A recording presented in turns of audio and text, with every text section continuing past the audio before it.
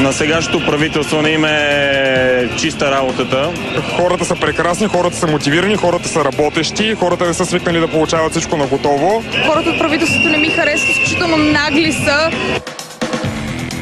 Всички чужденци да си кажат, о, това е тази страна, която направи революция, промени нещата, младите хора се завърнаха от чужбина и става новата Швейцария на Балканите, примерно. Всъщност тук някакси няма бъдеще за нас.